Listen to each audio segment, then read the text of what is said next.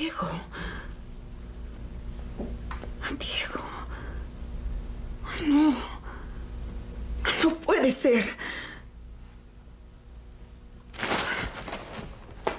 ¿Jorge? Está en la ciudad. Lo hará después. Esto no tomará mucho tiempo. Hay que llenar el expediente de la justicia. Vamos.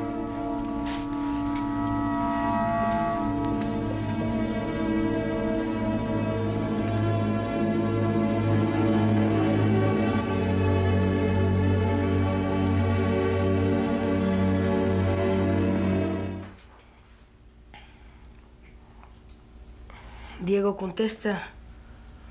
Contesta.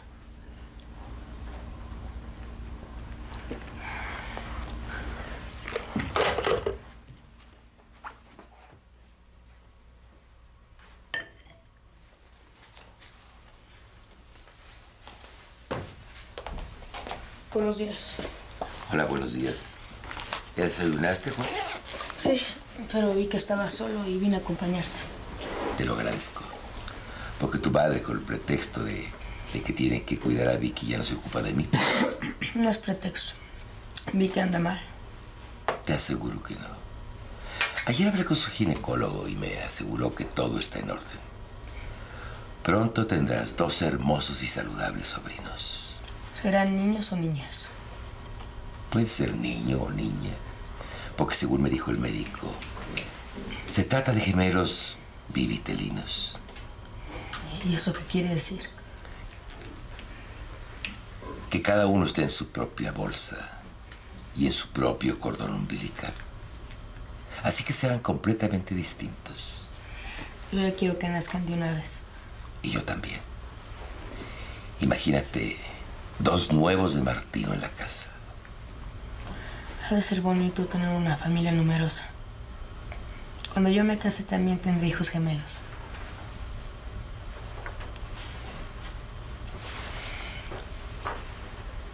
Tienes? ¿Te duele la cabeza otra vez? Sí, pero por favor no se lo digas a mamá, porque me encierra en el cuarto de nuevo. No le diré nada. Pero por la noche te ayudaré a estudiar para que no te esfuerces tanto. Llegaré temprano. Nos veremos en tu cuarto. Gracias.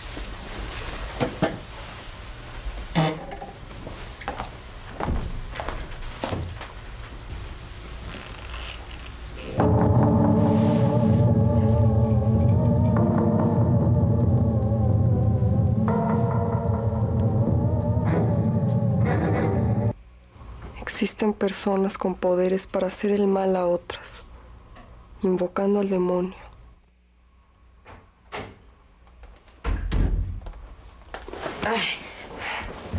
Ay, se me hizo tardísimo. Eh, Pero por fin encontré todo lo que quería. Este, mira la tela para tu blusa. Y el suéter que me pediste. Mira, de idéntico color a tu falda. ¿Dónde los compraste? En, en una boutique de insurgentes. La misma donde encontraste los pantalones negros que tanto habías buscado. Ah, sí. Y esto es para mí. No pude resistirlo. Oye, ¿tú tienes la dirección del médico que atendió a mamá en sus últimos días? ¿Cómo se llamaba? Eh, Fue el doctor Guzmán, pero murió hace tiempo. ¿Por qué me preguntas eso?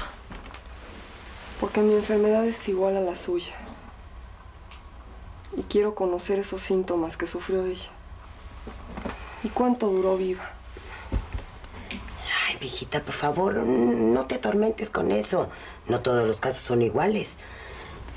Todos los organismos reaccionan de, de una manera distinta. Tu mamá no era tan joven como tú y además tuvo complicaciones.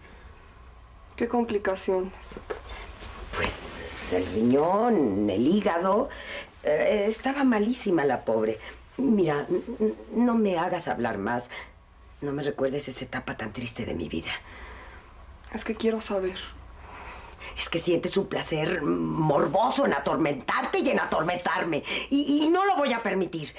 No te voy a seguir el juego, ¿lo entiendes?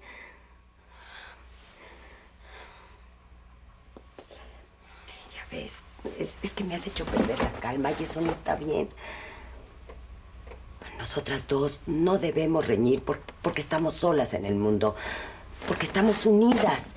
Y unidas seguiremos a- hasta el fin de nuestros días. No. Hasta el fin de nuestros días no. Hasta que yo me case. Pero es que dijiste que no ibas a hacerlo porque, porque no te sientes bien de salud. Bueno, me voy a curar muy pronto. Eso sí te lo aseguro. Y así lo deseo yo fervientemente. ¿Qué estás leyendo, mi vida? Me- es un libro de la escuela. Bueno, no estudies demasiado. Recuerda que no debes fatigarte. Voy a llevarme esto para que la lavandera lo planche y después te lo cuelgue. Adiós, mi amor.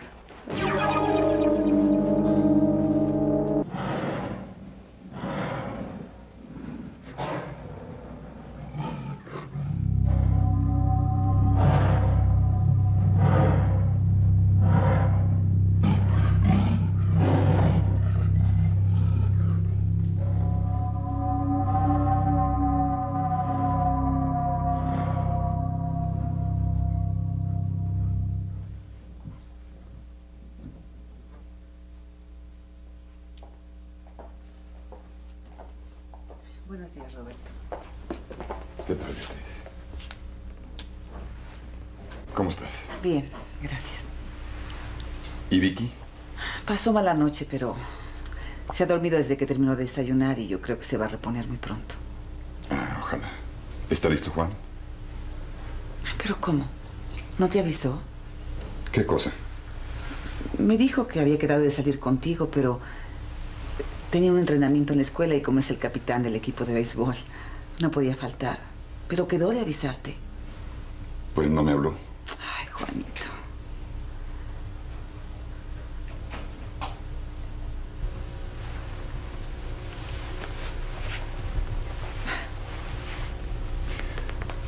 Me alegro que Juan no lo hiciera.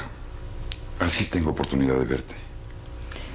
Roberto, ojalá pudieras hablar con él. Desde ayer por la noche lo he visto muy preocupado y como no se confía a mí, Pues a mí tampoco, no creas. ¿Qué supones que le preocupa? no sé, no tengo idea. La escuela va bastante bien, gracias a tu ayuda. Y me parece que ya se le ha quitado todo eso de hablar con Paco, invocarlo. Te prometo que la próxima vez que lo vea, trataré de averiguar qué le pasa. Gracias.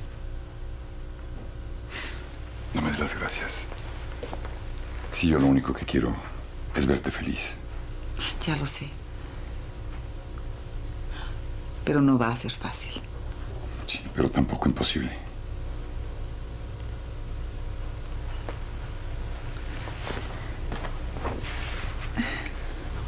Dile a Juan cuando llegue que me llame, por favor. Ya inventaré algo para que nos veamos lo más pronto posible. Sí. Hazlo, por favor.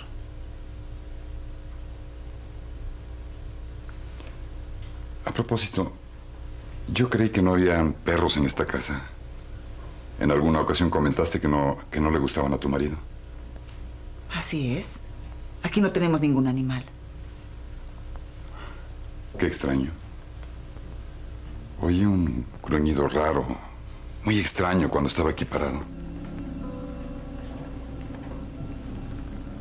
Bueno, sí me han dicho que, que han escuchado algo, pero nadie lo ha visto.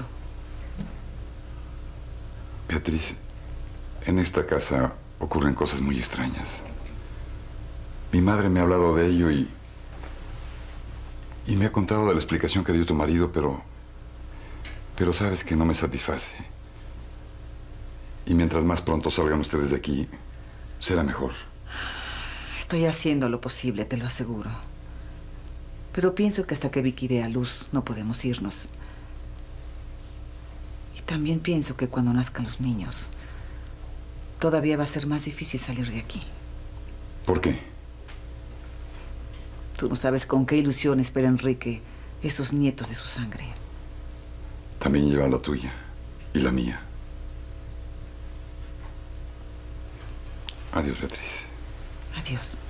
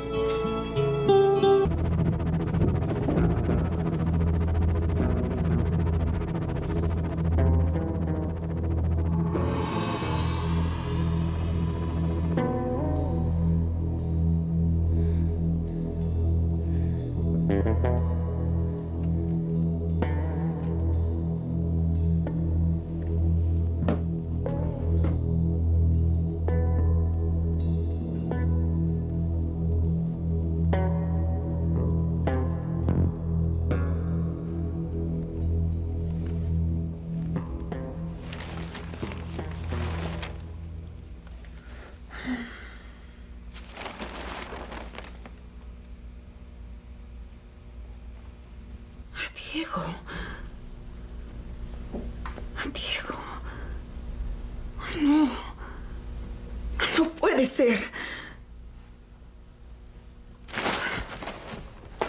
¿Jorge? ¡Jorge! ¿Qué pasa? Lo que le has hecho a Diego no tiene nombre. Pero lo vas a pagar. Ahora mismo voy a llamar a la policía. ¿Dónde vas? Tú no vas a ninguna parte.